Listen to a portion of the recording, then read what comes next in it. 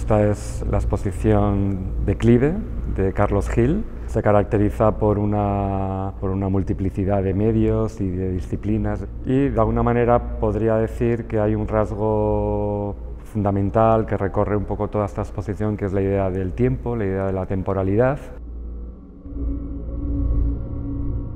La idea principal siempre fue que la propia exposición se convirtiera en la obra a través de bueno, una exploración con conceptos como el tecnoanimismo, eh, conceptos como la materialidad, la ciencia ficción, las distopías, cuestiones que tienen que ver con la obsolescencia material y tecnológica, esa relación entre tecnología y cuerpo.